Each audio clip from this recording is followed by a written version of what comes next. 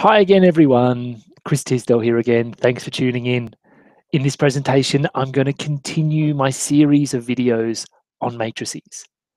Now, in the previous presentation, we talked about row operations.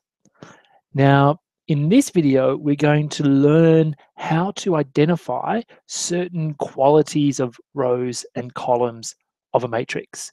And the idea is if we can identify these uh, properties in, in certain matrices, then it's in a very useful form to solve linear systems of equations. And we call these row reduced matrices and um, uh, row echelon forms. So let me share my screen with you. We'll do a few examples um, and see how we go. Okay, so firstly, some definitions. So suppose we've got a matrix A. There are three definitions here.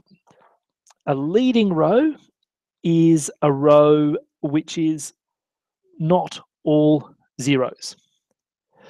The leading entry in a leading row is the first, the leftmost, non-zero entry in that row. And thirdly, a leading column is a column that contains the leading entry for some row. Okay, that's quite a lot to take in. So let, let me give you a simple example. Uh, uh, oh, excuse me. And see um, where this all fits in. All right, so let's take a matrix zero uh, one six two zero zero zero zero three negative one. Let's make it an augmented matrix. So this might uh, correspond to a, a linear system of simultaneous equations. Okay, so remember, rows go horizontally, columns go vertically. So that's row one, that's row two, that's row three, column one, column two, column three. All right, so let's identify uh, these uh, some leading rows and some leading columns. Okay, so lead, let's let's identify the leading rows first. A row which is not all zeros. Well, row one's not all zeros. Row two's not all zeros, and row three is all zeros. So you would say row one and row three are leading or leading rows. Um, R2, row 2, is not leading. Okay, pretty easy. Let us identify some of the leading entries. Okay, so let's look at all the leading rows and find the first non-zero uh, entry. Okay, so R1's leading, so 1, 1 is the leading entry entry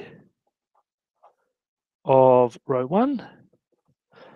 Uh, row two is not leading, so we can cross it out.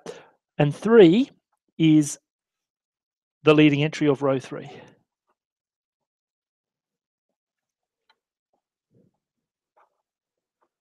Great.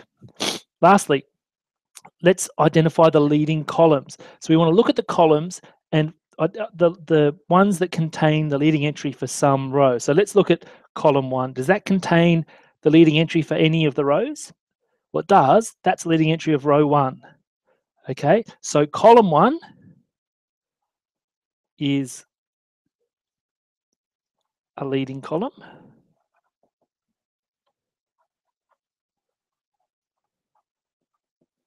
What about the next one? Yeah, column two, that contains that entry, which is the leading entry for row three. So column two is a leading column. And what about column three? Well, that doesn't contain any of the leading entries for any of the rows, okay? Any of the non uh, any of the non-zero rows, right? So column three is not a leading row, a column.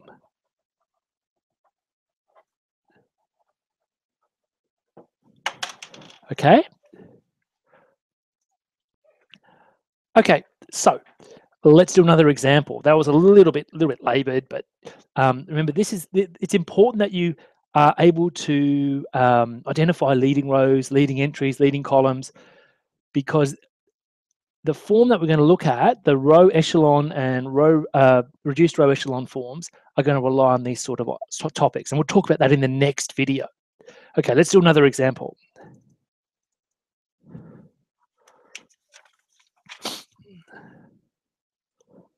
Okay. Here we have an augmented matrix. Identify the leading rows, the leading columns, and the non-leading columns. Okay, so the leading rows, let's start with R1. That's non-zero, that's non-zero, that's non-zero. So they're all leading rows because then none of them are completely uh, made up of zeros. Okay, leading columns. All right, let's just go through. Is column one a leading column? Yes, because it contains that um, uh, leading entry for row one. So column one is leading. What about column two? Yes, it contains this, which is the leading entry of row two. Column three, yes, it contains this entry, this leading entry of row three. Is column four leading? Well, no, because it doesn't contain the first non-zero left-hand value of any of the rows, right? So C4 is non-leading. Okay, let's move on to another one. This will be the last one. What are the leading rows? Okay, you can see this and this is the same matrix, except uh, the difference is that row 2 has been swapped with row 3 down here. Okay, so what? So let's look, see if that uh, uh, uh, changes anything. Row, uh, sorry, leading rows. They're still all non-zero rows, so they're all leading. What about leading columns? Okay, column one, yes. Column two, yes, because it contains that entry. Column three, yes. Column four, no.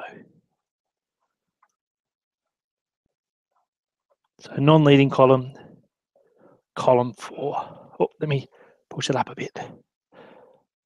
There we go. Okay, so pretty simple examples. The more examples you do, the quicker you'll get at identifying leading rows, leading entries, and leading columns. Okay, and the format is going to be important to identify beautiful formats called um, row echelon and reduced row echelon forms, from which we can solve easily linear systems of equations. That'll be the subject of the next video. Hope you can join me then. Bye, everyone. Thanks for watching.